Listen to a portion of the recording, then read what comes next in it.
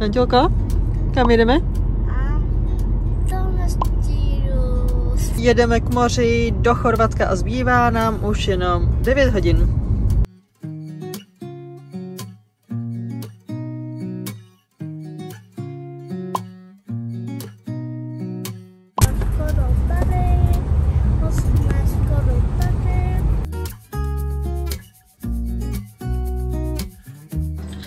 Tak my už jsme v Chorvatsku.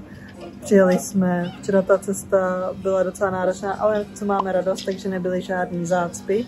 Už jsme dorazili, večer asi v 8. Místní nás tady hrozně hezky přivítali, dostali jsme vlastně alespoň pivo, Dantí dostal uh, nějaký ledový čaj, pokecali si s námi, dali nám tipy, kam jet a my vlastně, abych ještě to schrnula, protože jsem vám vlastně nic neřekla v tomhle videu ještě o tom ty naší dovolení. Takže jedeme na týden, Jeli jsme do Chorvatska na ostrov Pach a tady to místo, kde právě jsme, tak se jmenuje Metajna. Je to taková malá vesnička, kde jsou asi čtyři restaurace, pekárna, dva minimarkety, ale je to moc moc hezký. Bohužel tady jako probíhají práce na silnici nebo vlastně dělají chodníky, takže to takový jako neúplně jako perfektní, perfektní a vlastně ten majitel tam v penzionu říkal, nebo penzionu apartmánu, tak říkal, že ty práce měly vlastně skončit do konce nějak května, ale že to hrozně posunulo, takže bohužel, ale nám to vlastně asi nevadí. Včera, když jsme přijeli, bylo krásně, dneska, když jsme tady, tak pršelo. Šli jsme se vykoupat na pláž, pršelo, když jsme se vrátili, ať jdeme na papání, tedy do místní restaurace a vzali jsme si, nebo objednali jsme si s Alessandrem mix grill rybí, rybiček.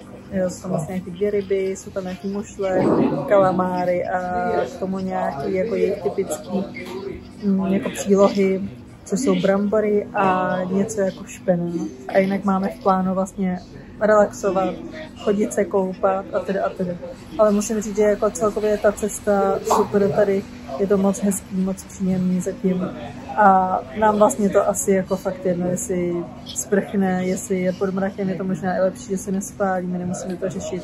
A navíc jsme mohli vzít Ariho, našeho pejska, který momentálně spí na apartmánu, protože jsme měli ráno opravdu hezkou dlouhou procházku, do kterou jsem si nevzala telefon, protože jsem to chtěla užít a nebejt na telefonu a natáčet. Ale ty další dny vám ukážu, co budu natáčet, protože máme taky v plánu jet se podívat do místní sírárny a dá tam prohlídku a tady ta sírárna prý byla zvolena a třikrát za sebou nejlepší sírárna na světě, takže jsem na to hodně zvědavá.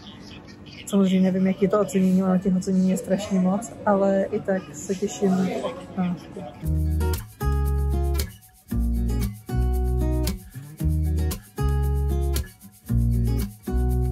Ahojky, tak dneska je neděle a je náš druhý pořádný den v Chorvatsku a jelikož venku poprchává a vypadá to, že bude zase pršet, nebo není to úplně ideální na to, aby jsme šli někam daleko na pláž a zase jsme zmokli jako včera, tak jsme se rozhodli, že si uděláme dneska výlet a má tady být kousek nějaká sírárna, která má být skvělá, já už jsem vám o ní vlastně říkala včera, takže dneska tam jedeme a potom si uděláme výlet do města Pak, se tam budeme podívat, projdeme se a asi si tam dáme nějaký dobrý jídlo. No a já teda ještě doufám, že v rámci té sírárny, protože tam mají napsaný, že tam mají nějaký deli shop a chutnávky, takže bychom mohli kromě toho, že si projdeme tu sírárnu a podíváme se do zákulisí toho, jak se vyrábí sír, tak také ochutnat nějaký ten sír. Pro Dantíka to bude poprvé takovýhle zážitek, který jsem zvědavá, jak vydrží třeba půl až hodinu poslouchat a někde chodit. Ale myslím si, že by to mohlo být zajímavý. Říkal teda, že se tam netěší, viď? Netěší se to. Tak uvidíme, jak to bude. Ale já se těším, protože jsem určitě v sírárně ještě nikdy nebyla a nevím, jak se vyrábí sír. Pokud to půjde, tak vás vezmu sebou a když ne, tak vám aspoň potom třeba řeknu, jaký to bylo. Tak bohužel dneska tour nedělali, takže se vydáme nějaký jiný den, ale aspoň jsme se šli podívat do místního obchůdku, který vlastně je s tou sírárnou spojený. Takže vám ukážu, jak tady vypadá a příště, až sem půjdeme, tak se podíváme do té sírárny.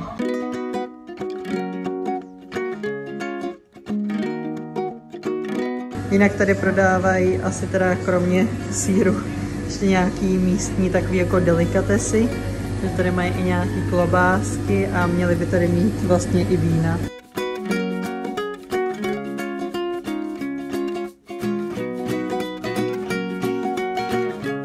mají tady nějaký alkohol, to se mi líbí, protože je to jako odsud, takový jako typický je to pak.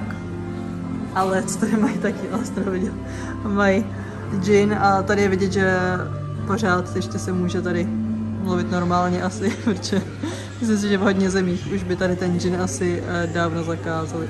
Co máš? Píčátka. Jste? Ukaž Tak Dante má čokoládový lízátko. Uh, my jsme si vzali s Asnerem krekry, jsou nějaký i uh, lepku. A vzali jsme taky jednu pálenku, protože pán, který vlastně nám pronajímá ty apartmány, tak má dneska narozeniny a vypadá to, že bude nějaká oslava, tak jsme chtěli vzít aspoň něco, takže jsme vzali nějakou jako místní slivovici. Takže sami jsme zvědaví, jak to bude chutnat. A na tour teda nejdeme a jedeme přímo do města pak, půjdeme na papání a pak tam půjdeme projít pak zpátky a doufáme, že odpoledne třeba bude trošku víc hezky a budeme se koupat.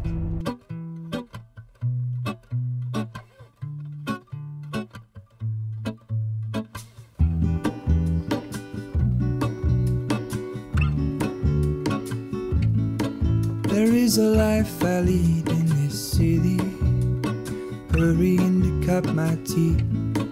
I can take what I need to get by. It doesn't make it easy. The other piece of my heart moves slow. Somewhere in the great unknown. Tak chvilku prší, chvilku je teplo a my jsme se vydali na oběd eh, po krátké procházce. Chtěli jsme jít do jedné místní restaurace, kde nám řekli, že je plno, takže jsme šli do jiný a jdeme se teď teda na papat. Take me back where I belong. I want it all. I had a feeling, but the feeling. Tak dneska to máme vyloženě rybí. Já jsem si vzala chobotnici s bramburkama, ale snad nějaký mix. A Dančelák si vzal tady smažený kalamáry. Hned se na nějaký mix. Hrozně fouká, je fakt jako hodně, hodně pálivý sluníčko a do toho prší, takže takový hodně mix kombinace. A my jsme dopadli a jdeme, a jdeme, jdeme na zmrzku vy?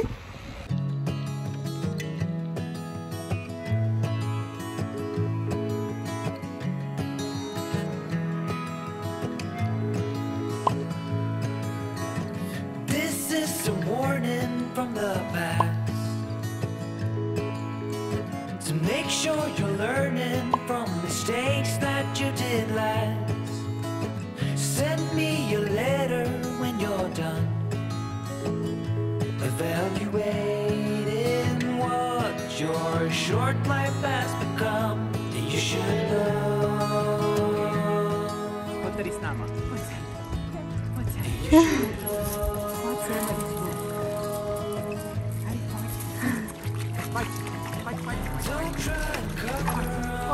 Light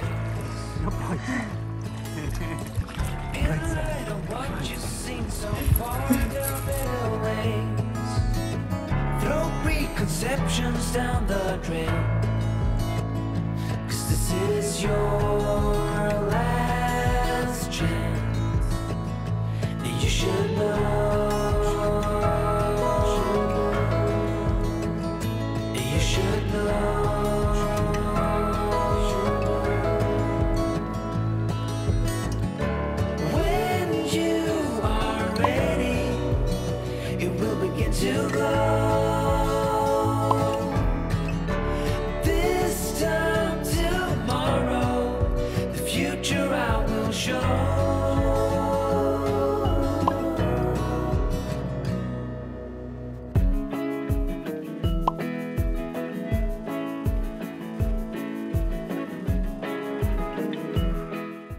Dobré ráno, tak dneska je nějaký pátý den.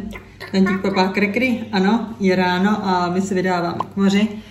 Vlastně ten minulý den jsem moc toho nenatáčela, nebo koupali jsme se, předtím jsme byli samozřejmě na nějakém výletě, ale myslím si, že už to není úplně zajímavý, když vám sem dávám každý den, co jsme měli jako jídlo, protože každý den papáme vlastně víceméně to samý. Teď vám ukážu tady apartmán. Máme tady spoustu věcí, takže toho se nelekněte, ale jenom abyste viděli, kde vlastně jsme. Tak tady máme vlastně takovouhle kuchyňku, která je hezky zařízená. Musím říct, že to je opravdu hezký. Máme tady spoustu talířů, hrníčků, nějaký věci jsme si i vzali. A máme tady lednici, je tady vlastně i myčka. Je tady trouba, je tady sporák, je tady vlastně, bych řekla, všechno. Kávovar je tady ten překapávaný. A pak je tady takhle stůl a my už tady, jak vidíte, připravujeme k moři zase. No a tady máme balkon, který jako jediný tady vlastně v tom komplexu je bez výhledu na moře. Máme tady za sebou takhle hotel, ale nám to vlastně nevadí. A ty židle jsou tady takhle, protože byl strašně velký vítr. Tady ta židle furt padala, takže tu jsem nechala rovnou na zemi. Takže ten balkon úplně jsme tolik ani nevyužili. Ale co je fajn, takže tady je vlastně takováhle stahovací rolata, která se dá stáhnout a máte tady krásný soukromí.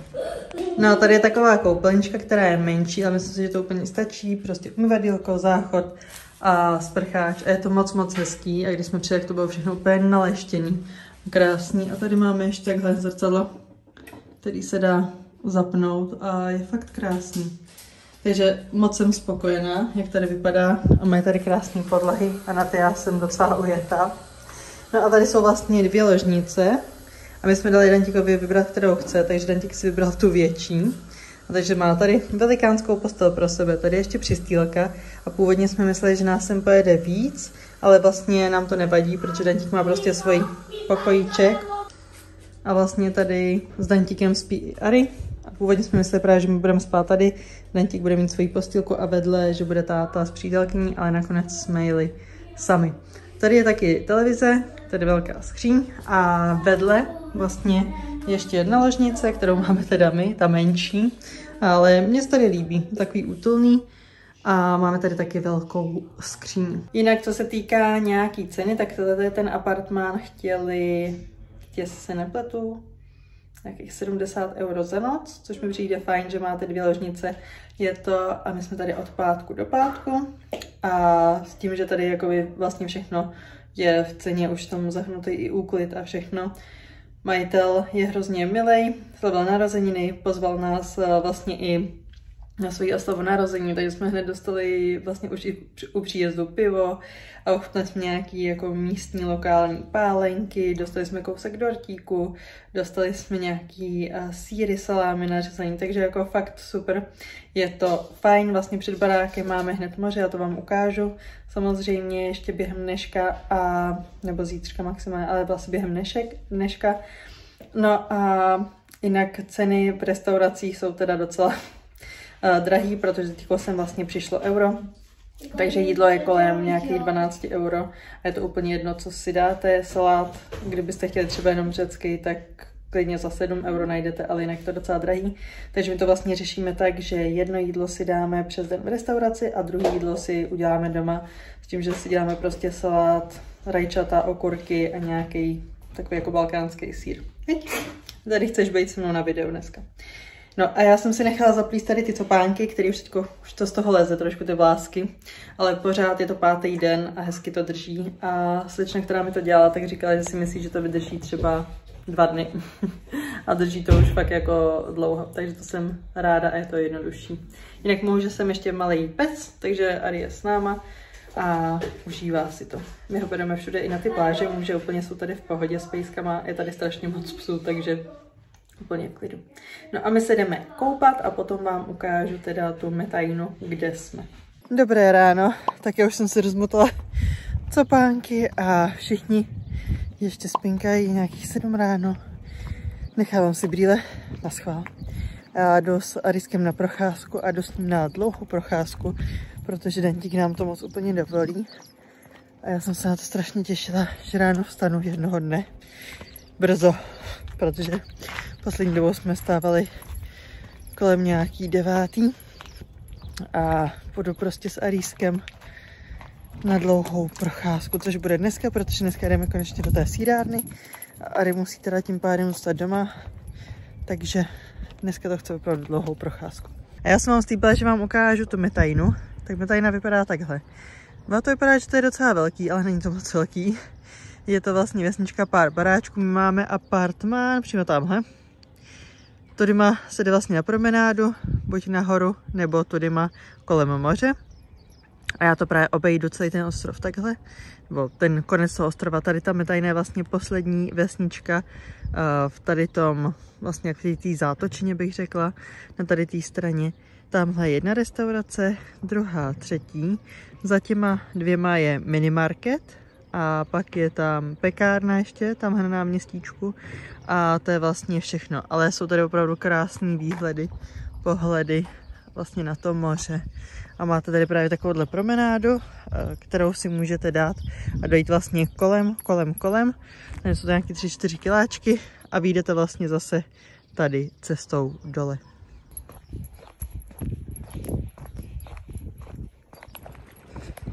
Jinak já úplně miluju tady to místo před náma. Hned vám ukážu proč, protože tam je taková plážička a taky je tam úplně krásná taková zátočina. Přesně kvůli tady tomu se mi to moc líbí.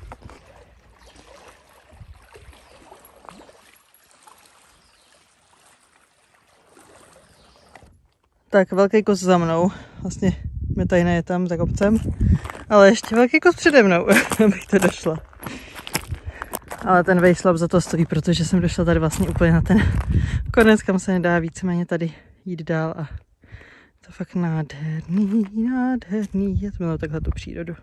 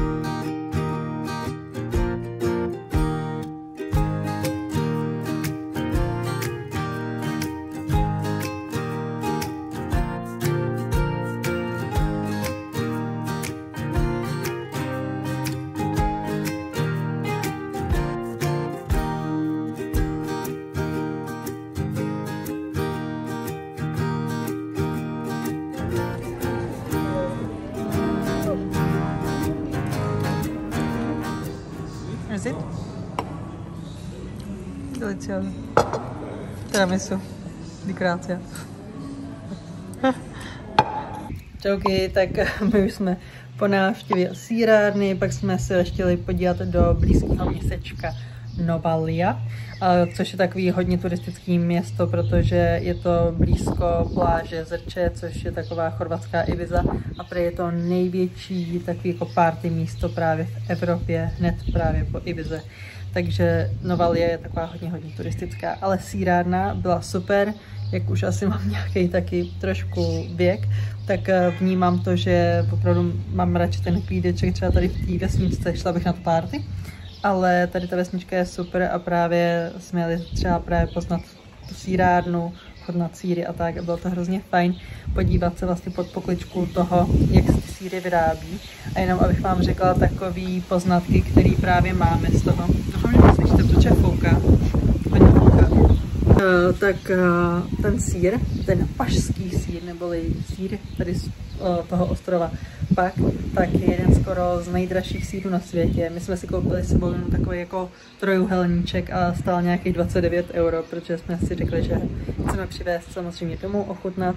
A ta cena není, nebo nám bylo vysvětleno, že to není o tom, že tam dávají nějaké speciální ingredience do toho, nebo že to je, nevím, vyválený ve zlatě, ale vlastně ty ovečky, které dávají to mlíko na ten typický pašský sír, tak ty tady běhají všude vlastně po kopcích a oni vlastně vykupují mlíko od místních farmářů, ale tady ty ovečky, tak co je specifický, tak to mlíko má prostě nějakou specifickou chuť, protože ta tráva, která tady roste a ty bylinky, které tady rostou, tak oni je žerou a je to prej úplně jiný než třeba někde jinde na světě nebo i v Chorvatsku. Takže to mlíko prostě má trošku jinou chuť.